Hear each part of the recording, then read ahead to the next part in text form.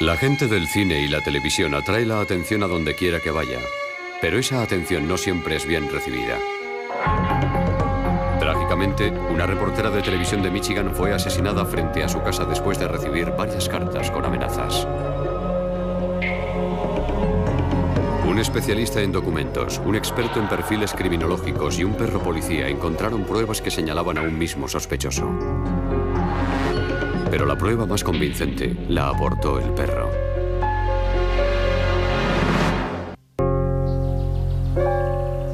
Diane Newton King encontró todo lo que buscaba en Battle Creek, Michigan.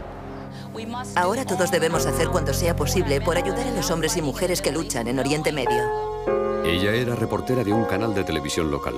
Tenía una buena casa, estaba casada y tenía dos hijos maravillosos. Diane Newton King era de esas mujeres que cuando entran en una habitación todos se vuelven a mirarla, no solo por su atractivo físico de nativa norteamericana, sino porque ella siempre sonreía. Era muy alegre y todas las miradas se iban hacia ella inmediatamente.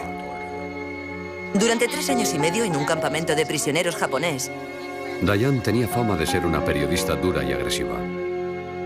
Ella presionaba para conseguir un buen reportaje. Presionaba mucho. Y a veces presionaba demasiado. Aunque Diane captaba la atención de los espectadores, no siempre era de la forma que ella quería. Empezó a recibir amenazas por teléfono y cartas de un admirador obseso. Era un hombre que se presentó como alguien que quería trabajar en televisión, que quería ir a comer con ella, quería conocerla, y empezó a asediarla llegando a llamar a su casa todos los días. Los directivos del canal de televisión contrataron otro guardia de seguridad y controlaron todas las llamadas de Diane. El marido de Diane, Brad, un ex policía, decidió tomar sus propias precauciones. Pusieron luces de seguridad, luces que se encendían automáticamente cuando alguien se acercaba a la casa. Su hermana le regaló un Doberman Pinscher como perro o guardián. Pero los acosos continuaban, incluida esta carta que llegó a su casa. Las palabras formadas con letras recortadas de revistas decían, debiste haber ido a comer conmigo. Entonces fue cuando empezamos a asustarnos, cuando encontraron la primera carta en el buzón, porque hasta entonces nadie sabía dónde vivía. Diane entregó la carta a la policía local. Nunca había visto un caso en el que alguien recortara letras de revistas y las pegara en una carta. Eso se ve en televisión, se ve en las películas, pero eso no se ve en la vida real. Unas semanas después, alguien entró en el domicilio de los King mientras la familia estaba fuera, pero no robaron nada. Todos esos extraños incidentes culminaron en tragedia la tarde de un sábado de 1991. El marido de Diane, Brad, llegó a casa y encontró a Diane tendida en la entrada del garaje. Estaba muerta, aparentemente por un disparo en el pecho. Sus dos hijos pequeños estaban dentro del coche, vivos, pero muy asustados. La policía temía que ellos mismos podrían tener parte de culpa. Uno de los detectives llamó aquella noche al escenario del crimen y lo primero que dijo fue, Dios mío, hemos metido la pata. Estaba preocupado porque la carta llevaba un par de meses sobre su mesa y no se había hecho una investigación en profundidad. En la carta había varias pistas, pero no la clase de pistas que esperaba la policía.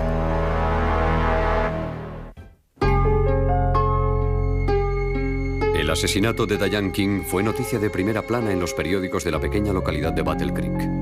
Los investigadores esperaban encontrar alguna pista en la autopsia. Y reveló algo significativo. Diane King había recibido no uno, sino dos disparos hechos con un rifle del calibre 22. El ángulo de la herida del pecho iba de arriba hacia abajo, es decir, que el orificio de entrada estaba más alto que el de salida, lo que indicaba que el arma debía estar ligeramente por encima de ella cuando se hizo el disparo. La segunda bala tenía una trayectoria completamente distinta. La segunda era muy extraña. La bala había entrado por encima del pubis y había llegado hasta el otro extremo del cuerpo. Es decir, que había atravesado los intestinos, el pulmón izquierdo y se había alojado junto a la clavícula izquierda. Al parecer, El asesino había disparado una vez desde una posición elevada y después se había acercado y agachado para realizar el segundo disparo. Él o ella debía haberse agachado o arrodillado en el suelo sosteniendo el arma de forma paralela o casi paralela al suelo. En el escenario del crimen, los investigadores localizaron la posible posición del tirador. En el granero que había junto al garaje encontraron un único casquillo del calibre 22. Se me ponía la carne de gallina pensando lo cerca que estábamos del que hubiera cometido el asesinato. Estábamos en el mismo sitio donde él había estado hacía una hora. Con agentes de policía para ayudar a reconstruir los hechos, los investigadores usaron un láser para confirmar que efectivamente el tirador se había apostado allí. Conocíamos el ángulo y la trayectoria de la bala por la autopsia. Y queríamos determinar si eso coincidía con la teoría de que se hubiera producido el disparo desde el granero. Y dirigiendo el láser desde el granero hasta la posición en que se encontraba la víctima, pudimos confirmar que el ángulo de la trayectoria coincidía. A continuación, el agente de la Policía Estatal de Michigan, Gary Leslie, y su perro adiestrado Travis intentaron encontrar el rastro del asesino. Los casquillos de todas las armas de fuego siempre salen por la derecha después de disparar. Así que fuimos por la izquierda del casquillo y Travis me hizo saber que había encontrado un rastro y empezamos partiendo de ese punto. Los perros son capaces de seguir el rastro de una persona por su olor, que es característico, una combinación de células muertas que se desprenden y el sudor. Empieza a correr la adrenalina, el corazón late más rápido, el sudor, el nerviosismo. Es un olor muy distinto al de una persona que está desorientada o una persona que se ha perdido.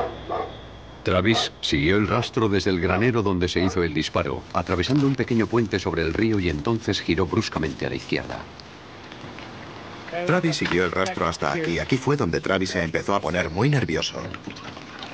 Allí encontraron la culata de un rifle Remington Scoremaster 511 del calibre 22 que estaba asomando del barro. En el agua había siete casquillos usados. Todos estábamos muy ilusionados porque sabíamos que podía ser el arma homicida. Sabíamos que nadie en circunstancias normales dejaría así un rifle enterrado en el barro. En el laboratorio de criminología, los expertos en balística hicieron pruebas con el rifle para encontrar la marca característica de cada arma, la marca que queda en la base del casquillo producida por el percutor del rifle. El casquillo que se encontró en el granero y los siete casquillos que estaban en el río fueron identificados como pertenecientes al arma en cuestión. Pero era imposible relacionar las balas con el rifle. El problema era el estado en que estaban las balas. En este caso, estaban muy dañadas por el impacto contra el cuerpo. Y eso hacía muy difícil establecer una identificación positiva. En el escenario del crimen, Travis todavía no había terminado su investigación. Después de encontrar el rifle y los casquillos, cruzó el río y volvió a encontrar el rastro del asesino. Es increíble el olfato que tienen los perros. Te preguntas, pero ¿cómo es posible que hagan eso y encuentren las cosas que encuentran? Travis siguió el rastro hasta el bosque, después hasta la carretera y sorprendentemente otra vez de vuelta al escenario del crimen. Si Travis no se equivocaba, el asesino debía estar entre los curiosos que observaban mientras la policía realizaba la investigación.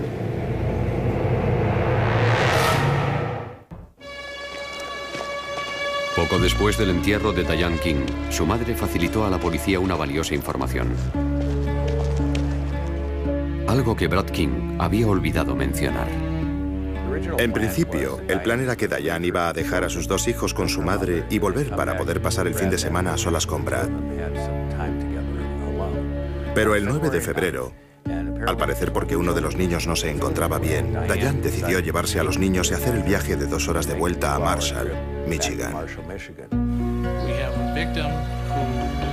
Es una víctima que sale del coche y nada indica que tuviera algún temor por algo. No toma ninguna precaución. Y hay un agresor que se siente seguro en el escenario del crimen y que además no tiene ningún reparo en acercarse a la víctima para volver a disparar.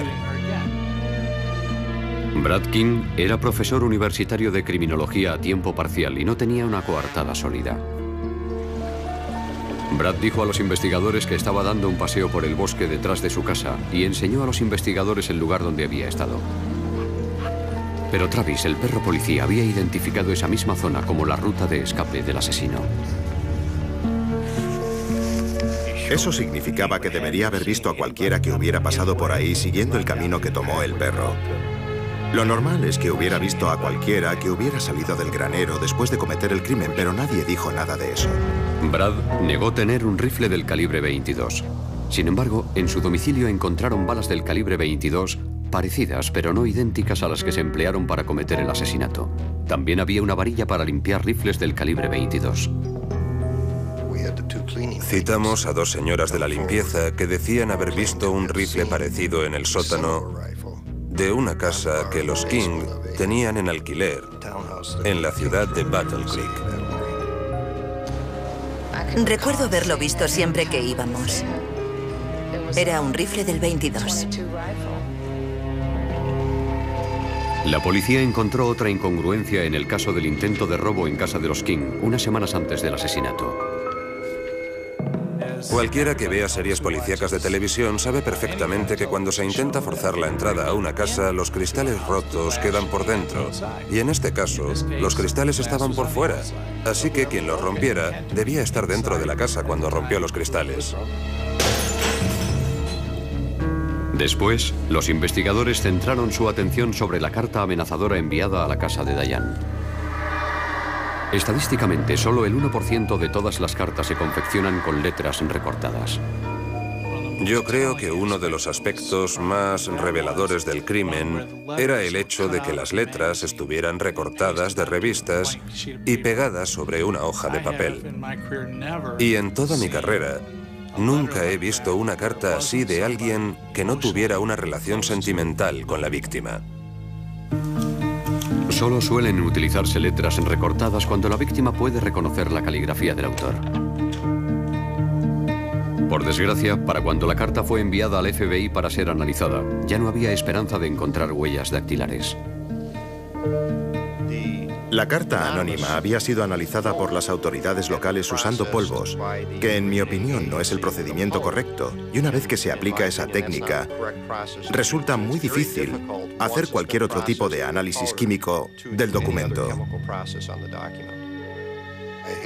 Hice que registraran el despacho de Brad King en la Universidad de Michigan con una orden para requisar objetos. Buscábamos tijeras, cuchillas, cinta adhesiva, pegamento, papel, cualquier cosa que la ciencia forense pudiera aprovechar para imputar a Bradford King. Pero no conseguimos hacerlo. En cuanto al móvil, la policía encontró pruebas de abusos sexuales, infidelidades y de que Diane estaba muy disgustada con el estilo de vida de su marido. Ella llegó una mañana y estaba llorando. Tenía muchos moretones. Me enseñó los golpes que tenía. Y eso fue en Navidades. Me dijo que ella y Brad se habían peleado. Brad era un tipo muy especial. Podía caerte muy bien un día y podías odiarlo al día siguiente dependiendo del humor que tuviera. Y según sus amistades, Diane quería que Brad buscara un trabajo a jornada completa. Brad lo tenía todo bien organizado y trabajaba a media jornada como profesor en la Universidad de Michigan. Pero creo que ella empezó a presionarle tanto que empezó a temer que ya no iba a poder seguir llevando la vida que llevaba en la universidad. Su mujer era la que se ocupaba de los niños y de llevar dinero a casa. Y creo que estaba enfadada con él porque él no cumplía con su parte. Ella le mandaba mucho y le regañaba. Y creo que llegó un momento en el que ya no pudo soportarlo más y decidió vengarse de ella de una forma agresiva, matándola. Las supuestas aventuras sexuales de Brad eran con estudiantes de la universidad donde impartía clases. Era infiel a su mujer. Tuvo una aventura con una alumna de su clase y tuvo una aventura con otra mujer que había conocido en Battle Creek. Se sabe que intentaba buscar chicas jóvenes en el campus, con ayuda de los chicos de las fraternidades. No era el hombre más fiel del mundo. Se mire como se mire. Un año después de la muerte de su mujer, Bradford King era detenido y acusado de asesinato. A los fiscales y a los investigadores del caso les preocupaba que el sospechoso fuera un exagente de policía y profesor de derecho penal en una universidad importante y que pudiera sacarse algún as de la manga, que pudiera inventarse alguna argucia y que empezara una especie de juego entre el gato y el ratón. Y así fue. Apareció una nueva prueba que amenazaba el caso presentado por la Fiscalía.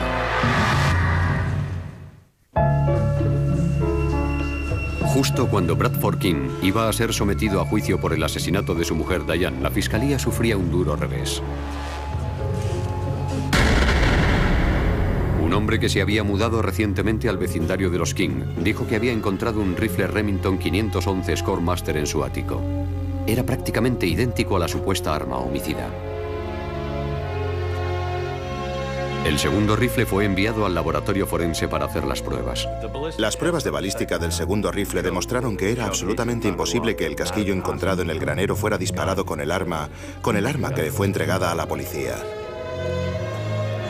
La acusación pensaba que Brad había dejado otro rifle en una casa cercana vacía para sembrar una duda razonable en las mentes del jurado y que había sido Brad el que hizo las llamadas con amenazas, el que envió la carta y el que escenificó el robo cometiendo el error de romper el cristal desde dentro en lugar de hacerlo desde fuera.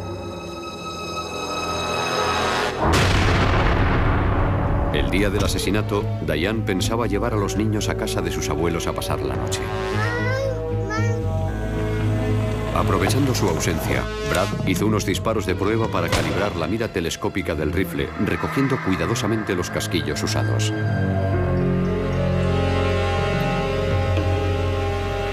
Más tarde, cuando Diane llegó a casa, Brad la estaba esperando en el granero.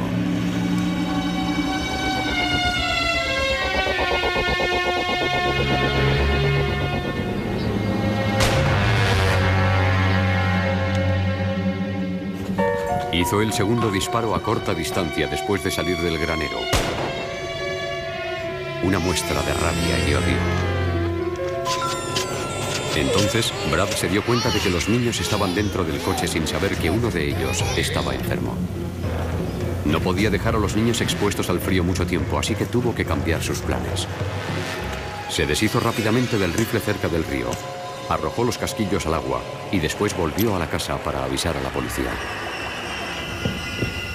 Pero Brad dejó olvidado un casquillo en el granero. Y ese casquillo relacionaba su rifle con el crimen. Y no podía imaginar que un perro policía iba a seguir su rastro desde el granero donde disparó hasta el río, después hasta el bosque y otra vez todo el camino de vuelta a la casa. Creo que él pensaba que iba a ser una investigación de andar por casa y siendo experto en leyes y profesor de universidad como era, Debió pensar que iba a ser más listo que los demás. En opinión de muchos, fueron los niños los que estropearon su plan para tener una coartada sólida. Yo creo que no contaba con que los niños estuvieran allí. Yo creo que pensaba ir a algún otro sitio y que otra persona encontrara a su mujer. Así tendría una coartada. Poco antes de su muerte, Diane había comentado con sus amistades que sospechaba que Brad tenía algo que ver con las llamadas y cartas amenazadoras. Ella me dijo, yo creo que es Brad. Y dijo, todavía no sé lo que voy a hacer. La defensa solo presentó siete testigos, argumentando que las pruebas contra Brad solo eran circunstanciales. Nadie ha subido al estrado diciendo Brad King llevaba un arma ese día, disparó el arma aquel día, fue el que apretó el gatillo ese día. Nadie. Yo estaba completamente convencido de que Brad King era culpable, pero no sabía si podría convencer a los 12 miembros del jurado.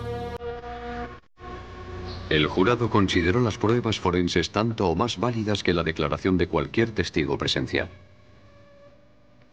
El jurado declara a Bradford King culpable de asesinato en primer grado con premeditación. Brad King fue sentenciado a cadena perpetua sin posibilidad de libertad condicional. Cuando analizamos las pruebas y hacemos las pruebas de balística y conseguimos hacer una identificación, una identificación positiva, es una gran satisfacción la que siento. Toda la ciencia forense se unió para señalar a Brad King como el asesino de su mujer. Se puede suponer o sospechar que una determinada persona está implicada, pero sin la ciencia forense para atar los cabos, no tenemos caso. Creo que no valoramos lo suficiente lo que hacen los perros. Yo les veo hacer cosas todos los días que me dejan atónito y digo, ¿pero cómo es posible?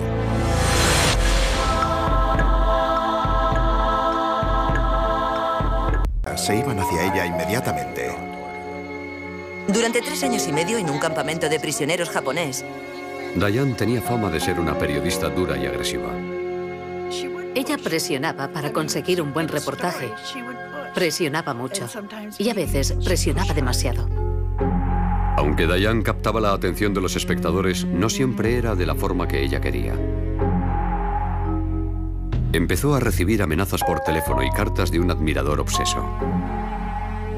Era un hombre que se presentó como alguien que quería trabajar en televisión, que quería ir a comer con ella, quería conocerla, y empezó a asediarla llegando a llamar a su casa todos los días. Los directivos del canal de televisión contrataron otro guardia de seguridad y controlaron todas las llamadas de Diane. El marido de Diane, Brad, un ex policía, decidió tomar sus propias precauciones. Pusieron luces de seguridad, luces que se encendían automáticamente cuando alguien se acercaba a la casa. Su hermana le regaló un Doberman Pinscher como perro o guardián. Pero los acosos continuaban, incluida ella. La policía temía que ellos mismos podrían tener parte de culpa. Uno de los detectives llamó aquella noche al escenario del crimen y lo primero que dijo fue, Dios mío, hemos metido la pata. Estaba preocupado porque la carta llevaba un par de meses sobre su mesa y no se había hecho una investigación en profundidad. En la carta había varias pistas, pero no la clase de pistas que esperaba la policía.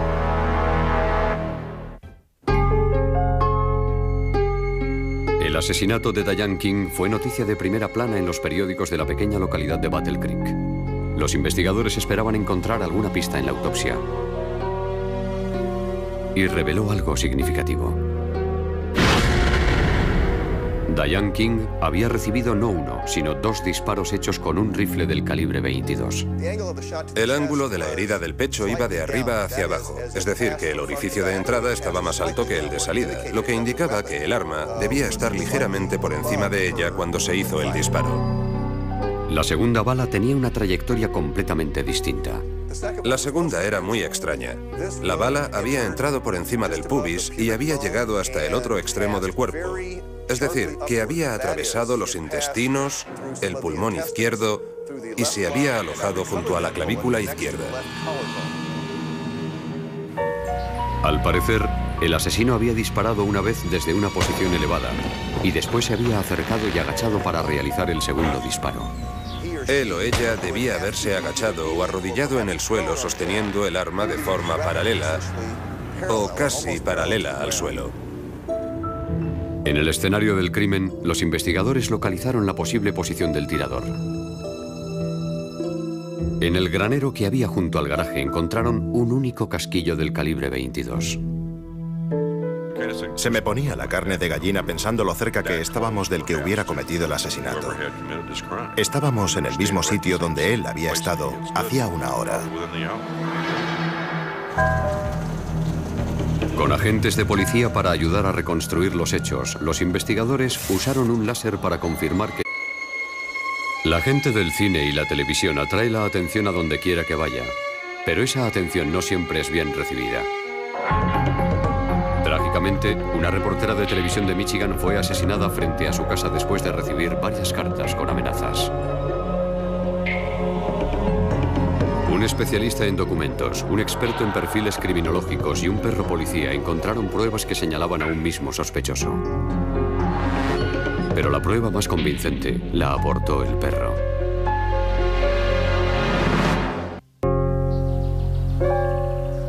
Diane Newton King encontró todo lo que buscaba en Battle Creek, Michigan.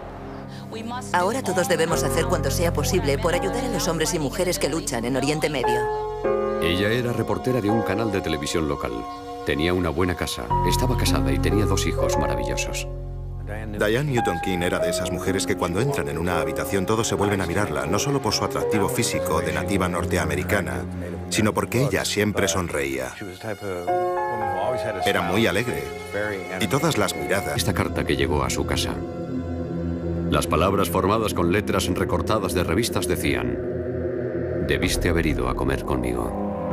Entonces fue cuando empezamos a asustarnos, cuando encontraron la primera carta en el buzón, porque hasta entonces nadie sabía dónde vivía. Diane entregó la carta a la policía local. Nunca había visto un caso en el que alguien recortara letras de revistas y las pegara en una carta. Eso se ve en televisión, se ve en las películas, pero eso no se ve en la vida real.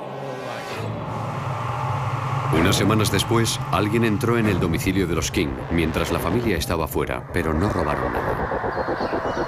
Todos esos extraños incidentes culminaron en tragedia la tarde de un sábado de 1991. El marido de Diane, Brad, llegó a casa y encontró a Diane tendida en la entrada del garaje. Estaba muerta, aparentemente por un disparo en el pecho. Sus dos hijos pequeños estaban dentro del coche, vivos, pero muy asustados.